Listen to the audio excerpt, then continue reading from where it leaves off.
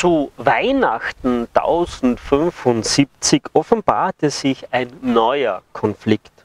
Papst Gregor VII. hatte den üblichen Weihnachtsgruß mit Segen geschickt, sich in dem Brief allerdings über die königliche Einsetzung von Bischöfen in Italien beschwert. Der Papst forderte als Nachfolger Petri vom König sogar Gehorsam ein. Das brachte das Fass zum Überlaufen. Der Zeitpunkt schien für Heinrich IV. günstig, denn das erstarkte Papsttum störte die Bischöfe im Reich. Im Jänner 1076 versammelte der König die Bischöfe im Worms.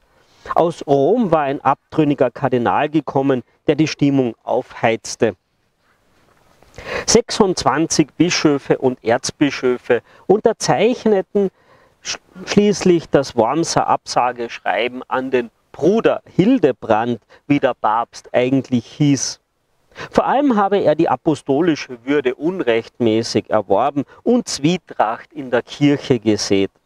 Er sei nicht vom König approbiert und habe leichtfertigen Umgang mit verheirateten Frauen. Der König als Patricius der Römer befahl dem Papst den Rücktritt.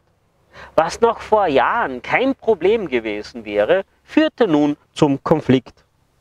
Gregor VII. erwies sich als ein ebenbürtiger Gegner. Klerus und Volk von Rom standen zum Papst. Als die Briefe aus Deutschland im Februar 1076 in Rom öffentlich verlesen wurden, erhob sich ein Sturm der Entrüstung. Der Papst exkommunizierte feierlich den Erzbischof von Mainz und suspendierte alle Bischöfe, die das Wormser Absageschreiben mitgetragen haben.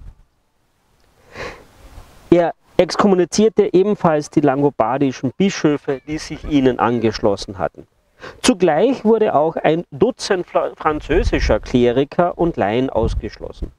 Um seine Maßnahmen zu unterstreichen, betete Gregor VII. zum heiligen Petrus, der ihm die Gewalt zu lösen und zu binden übertragen habe, im Himmel und auf Erden.